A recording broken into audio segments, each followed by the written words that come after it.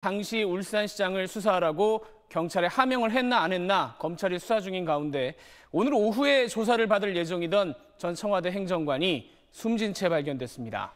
원래는 검찰 수사관으로 청와대에 파견 근무를 했던 사람입니다. 오늘 첫 소식 김기태 기자입니다.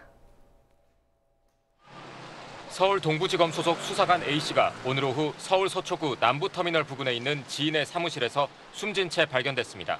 현장에는 A씨가 작성한 것으로 추정되는 메모가 발견된 것으로 알려졌습니다.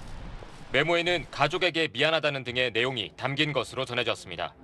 경찰은 이를 토대로 A씨가 스스로 극단적인 선택을 했을 가능성이 높은 것으로 보고 있습니다.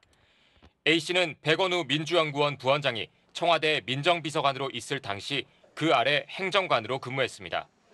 지난해 6.13 지방선거를 앞두고 김기현 당시 울산시장에 대한 청와대의 하명 수사 논란이 불거진 가운데 A씨는 백원우 당시 민정비서관이 박형철 반부패 비서관에게 전달한 것으로 알려진 첩보 생산에 관련된 인물로 거론돼 왔습니다. 당초 A씨는 오늘 오후 서울중앙지검에 참고인으로 출석해 조사를 받을 예정이었던 것으로 전해졌습니다. 검찰은 A씨를 상대로 문제의 첩보가 생산된 과정과 경찰에 전달된 경위 등에 대해 조사할 계획이었습니다. 검찰은 고인의 사망 경위에 대해 한 점의 의문이 없도록 철저히 규명하겠다고 밝혔습니다. SBS 김기태입니다.